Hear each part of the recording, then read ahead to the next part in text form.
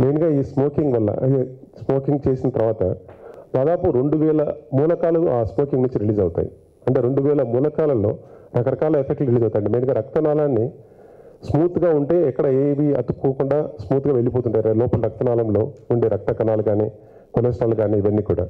అలా కాకుండా స్మోకింగ్ వల్ల ఏమవుతుంటే రక్తనాళంలో ఉన్న పొర అన్నది పూర్తిగా దెబ్బతినిపోవడం వల్ల అక్కడ రక్తనాళంలో వెళ్తున్న అన్ని రకాల కారకాలను అక్కడ పేర్కొని పోయి దాంట్లో కొలెస్ట్రాల్ అక్యుమిలేషన్ అయిపోయి ప్లాక్ అంటాం అంటే ముద్దలాగా తయారైపోయి హార్ట్ అటాక్ వచ్చే తత్వం పెరిగిపోతుంది.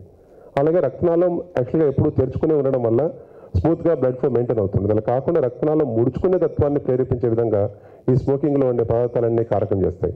దానివల్ల ఏమవుతుంది? రక్తనాళం ముడుచుకొని పోయి ఆల్రెడీ లోపల రక్తం గడ్డ తయారైపోయి తర్వాత రక్తనాళం ముడుచుకోవడం వల్ల సడన్గా హార్ట్ అటాక్ వచ్చే అవకాశం ఉంది. అలాగే హార్ట్ బీటింగ్ అబ్నార్మాలిటీస్ కూడా అంటే హార్ట్ అటాక్ వచ్చిన తర్వాత చాలా మంది హాస్పిటల్కి వెళ్ళే లోపలే చాలా మంది మరణించేదానికి ప్రధాన కారణం హార్ట్ బీటింగ్ అబ్నార్మాలిటీ అంటే సడన్గా ఇష్టం వచ్చినట్టు హార్ట్ కొట్టుకోవడం ఒక్కసారిగా నాలుగు వందల పైన కూడా కొట్టుకొని సడన్గా హార్ట్ ఆగిపోవడం. అంటే హాస్పిటల్ జస్ట్ కేవలం పది నిమిషాల దగ్గరలో ఉంటుంది. కానీ వెళ్ళే లోపలే ఎందుకు మరణాలు జరుగుతున్నాయంటే ఈ హార్ట్ బీటింగ్ అబ్నార్మాలిటీస్ బాగా పెరిగిపోవడం వల్ల. పర్టికులర్గా చిన్న వయసు వారిలో స్మోకింగ్ అలవాటు వాళ్ళకు హాస్పిటల్ వెళ్ళే లోపలే మరణించే అవకాశం చాలా ఎక్కువగా ఉంటుంది. అలాగే వీటిలో కొలెస్ట్రాల్ అబ్నార్మాలిటీస్ బాగా పెరిగిపోవడం తర్వాత బీపీ ఎక్కువ పెరిగిపోవడం చెడు కొలెస్ట్రాల్ బాగా పెరిగిపోవడం గుడ్ కొలెస్ట్రాల్ తగ్గిపోవడం ఇవన్నీ కూడా జరుగుతాయి. చాలామంది ఆపేసిన తర్వాత మా దగ్గరకు వచ్చినప్పుడు స్మోకింగ్ అంటే ఆపేసాం సార్ అండి. ఎప్పుడు ఆపేశారంటే ఒక పది రోజులు అయింది.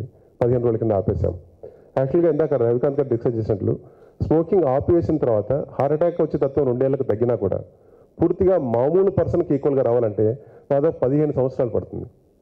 అంటే పూర్తిగా అతనికి స్మోకింగ్ అలవాటు లేని వాళ్ళకి స్మోకింగ్ అలవాటు ఉన్న వాళ్ళకి పూర్తిగా నార్మల్గా అసలు ఏ ప్రాబ్లమ్స్ లేవు అని చెప్పడానికి పదిహేను సంవత్సరాల పేరు పడుతుంది. అంటే కేవలం పది పదిహేను రోజుల కింద ఆపేసిన తర్వాత మాత్రం పూర్తిగా హార్ట్ అటాక్ రాకుండా మనం నివారించలేము. సో ఈ విధంగా స్మోకింగ్ ఆపేయడం వల్ల ఈ హార్ట్ అటాక్ వచ్చే తత్వం తగ్గించడం సడన్ హార్ట్ అటాక్ రాకుండా మనం నివారించడం వల్ల ఎంతో మేలు చేసిన వాళ్ళతో అంటే ఇక తాగే వాళ్ళు కాకుండా పక్కన వాళ్ళకి కూడా ఈ విధంగా హార్ట్ అటాక్ వచ్చే తత్వాన్ని పెంచకుండా మనం రకరకాల మెయిన్గా ఈ యాంటీ టొబాకో మెయిన్ అంటే అందరికీ అవేర్నెస్ క్రియేట్ చేయడం.